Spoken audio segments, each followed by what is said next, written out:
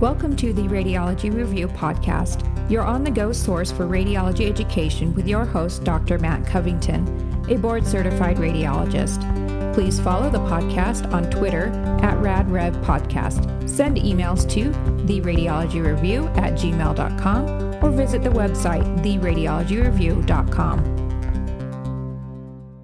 Welcome back to the Radiology Review Podcast. I have had many listener requests to cover arthritis, and I will start what will be a multi part series of arthritis with discussing psoriatic arthritis and ankylosing spondylitis in this episode. I may not necessarily release all of the arthritis episodes in order. I may mix some other topics in between as well. As a quick reminder before we get into the questions and answers for this episode, you can follow at RadRev Podcast on Twitter or Instagram, where I post things like physics tips for the ABR core exam, which I am currently posting most days of the week. Let's go ahead and start with the first question for this episode. First question What are classic imaging findings of psoriatic arthritis? Classic imaging features of psoriatic arthritis are many and include erosive changes with bone proliferation, most commonly involving the interphalangeal joints, meaning the distal and proximal interphalangeal joints, more commonly than the metacarpophalangeal joints in the hands. And the classic erosions typically start marginally and proceed centrally within the joint, which has been termed pencil sharpening.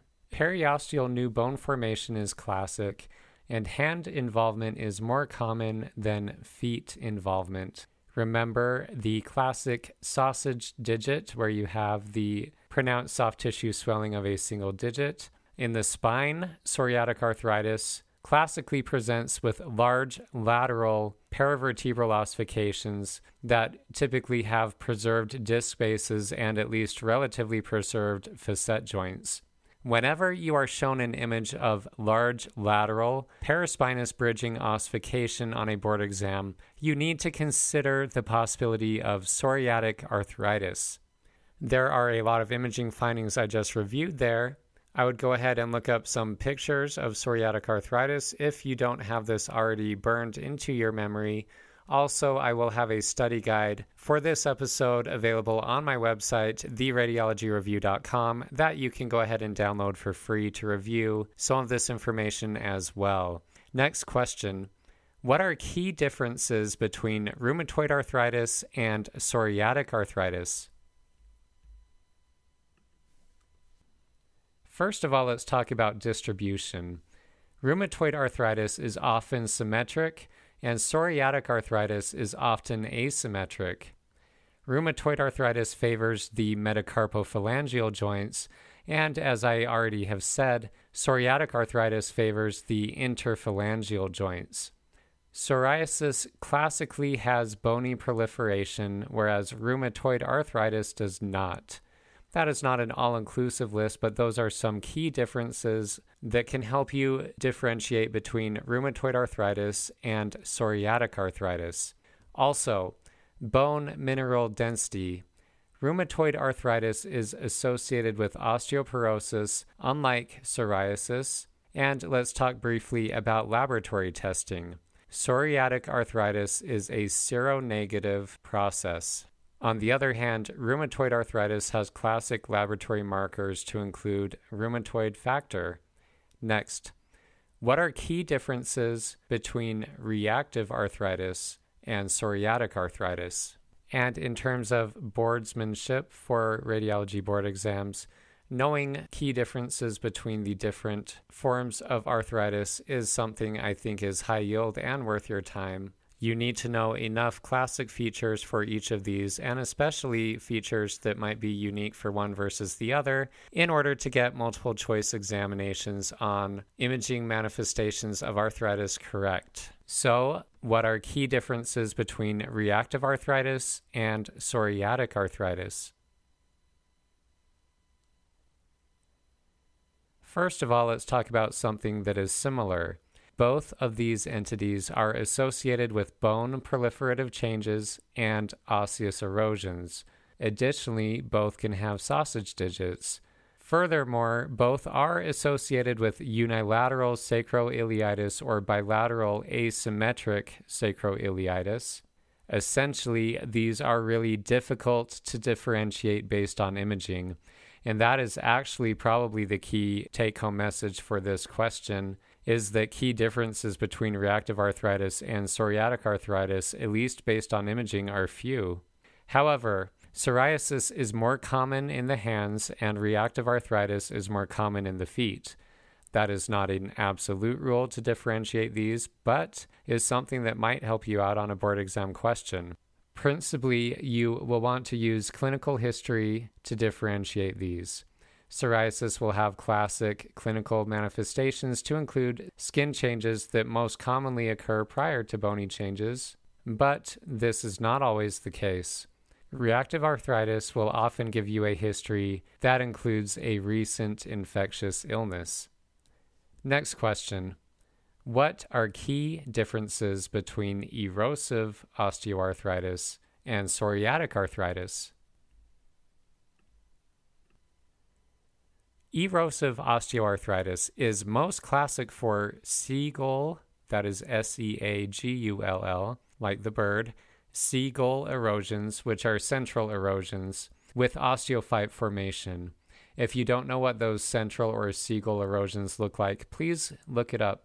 Psoriatic arthritis, on the other hand, will typically have peripheral erosions. So, again, erosive osteoarthritis is most classic for central erosions, which are sometimes called seagull erosions, and psoriatic arthritis will have peripheral erosions.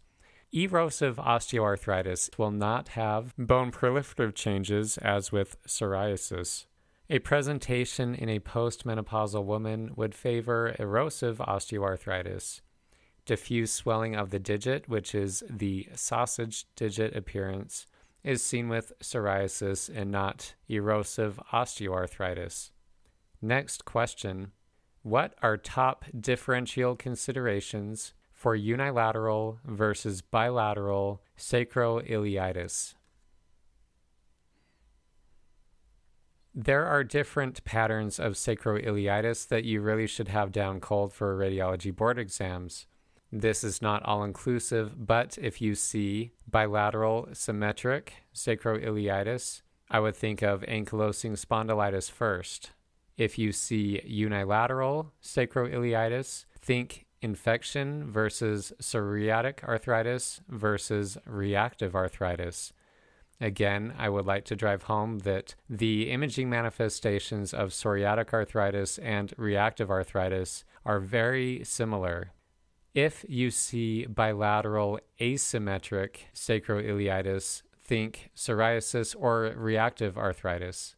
An infectious process would not be expected to be bilateral even if asymmetric, but psoriatic or reactive arthritis could certainly do that. Next, what are classic imaging features in the spine of ankylosing spondylitis?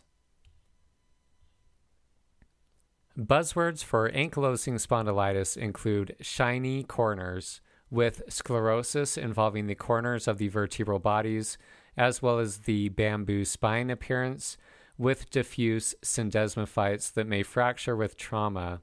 The Romanus lesion, that is R O M A N U S, Romanus lesion, maybe I said that right, maybe I didn't, I don't know is an MRI finding of early ankylosing spondylitis, and that manifests as edema in the corners of the vertebral bodies. And when I say edema on MRI, you should automatically think T1 dark and T2 bright. And this Romanus lesion, which is an early MRI finding of ankylosing spondylitis, which is the edema that you can see in the corners of the vertebral bodies, will eventually progress to show the classic syndesmophytes and shiny corners on CT or X ray. Next question. Ankylosing spondylitis is most associated with lung disease in which distribution? I will put out a plug now that I did provide several episodes previously on lung diseases by distribution. So if this question seems far off from what you know, you might want to visit some of those episodes and read about this on your own as well. The answer I'm looking for for this question is that ankylosing spondylitis is associated with upper lobe predominant interstitial lung disease with small cystic spaces. Next question True or false? If you see spine disease suggestive of ankylosing spondylitis with absence of sacroiliac involvement, this is still likely ankylosing spondylitis. The answer here is false. Spine disease without sacroiliac joint disease is unlikely to be seen with ankylosing spondylitis. So remember that ankylosing spondylitis almost always will involve the sacroiliac joints as well as the spine. So if you see spine only, you need to consider other entities first. Next, why might one consider radiation therapy to the hip following hip replacement in a patient with ankylosing spondylitis? The answer here is that for patients with ankylosing spondylitis, prophylactic radiotherapy after hip replacement may be considered due to a high likelihood of developing pronounced heterotopic ossification around that hip arthroplasty that can cause subsequent joint stiffness. And generally, when people have had their hip replaced, they do not want joint stiffness. So, if they have ankylosing spondylitis, you could go ahead and consider prophylactic radiotherapy after that hip replacement to reduce the likelihood of developing significant heterotopic ossification and subsequent joint stiffness. Next question Can you name classic spondyloarthropathies that have an HLA B27 association? Some answers for this question include ankylosing spondylitis, psoriatic arthritis, reactive arthritis, and inflammatory bowel disease related arthritis. Those all have an HLA B27 association. And to drive home the fact once again, psoriatic arthritis and reactive arthritis appear very similar on imaging, and they both have an HLA B27 association. Next question Can you differentiate on imaging the skeletal findings from ankylosing spondylitis and inflammatory bowel disease related arthritis? The answer here is classically no. You typically cannot differentiate on imaging the skeletal findings of ankylosing spondylitis from inflammatory bowel disease related arthritis. Similar to the similarity between psoriatic arthritis and reactive arthritis, the imaging manifestations of ankylosing spondylitis and inflammatory bowel disease are very similar to each other. You must therefore rely on other findings and clinical history to differentiate these entities. For example, characteristic bone findings of ankylosing spondylitis versus inflammatory bowel disease related arthritis in a patient with a colostomy that you can see in the field of view is more likely to be inflammatory bowel disease related arthritis. A take home point for questions on radiology board exams that ask about arthritis is to use every bit of information they provide if they throw in a small detail, either in the clinical history or show you an image of something that is somewhat unusual, such as a colostomy, you need to use all of the information at hand to narrow down the differential considerations and arrive at the correct answer. Last and final question for this episode What are differences between the imaging manifestations of ankylosing spondylitis and diffuse idiopathic skeletal hyperostosis in the spine. That is also called DISH, D I S H, diffuse idiopathic skeletal hyperostosis. A really basic answer to this question is that bulky osteophytes with disk space preservation is most likely to be diffuse idiopathic skeletal hyperostosis, which is also called DISH, D-I-S-H. Shiny corners with syndesmophytes is classic for ankylosing spondylitis. As a reminder, psoriatic arthritis can also involve the spine and is associated with unilateral large bridging osteophytes most classically.